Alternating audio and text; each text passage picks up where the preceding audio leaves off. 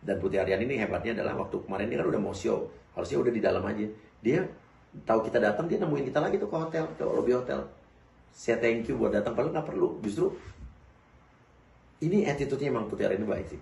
Hebat, luar biasa. Keren. Dia nyamperin kita lagi, terus yang gue lihat juga di situ dia nggak sama sekali nggak grogi, sama sekali nggak panik, nggak nervous, bener-bener udah mentalnya udah kayak mental diva. Santai, tenang. Apalagi waktu manggung juga, wah udah sama sekali nggak ada grogi-groginya. Keren, keren banget. Sampai ada belakang gue ada orang bule, dia bilang bahwa, wah gue datang buat Putri Aryani. Khusus dia datang kalau nggak salah dari dari Colorado, udah pokoknya jauh-jauh untuk datang buat Putri Aryani. Dan ada juga orang bule di samping belakang kanan nanya, dari Indonesia, dia nanya Indonesia kayak apa sih? Cinta terangin Indonesia kayak gini, wah gue mau ke Indonesia nih. Artinya Putri Aryani mampu mengharumkan nama Indonesia, mampu membuat orang nengok ke Indonesia. Siapa apa sih Indonesia? Ada apa di Indonesia? Tinggal gimana pemerintah Indonesia dan instansi-instansi yang berwenang jeli melihat ini.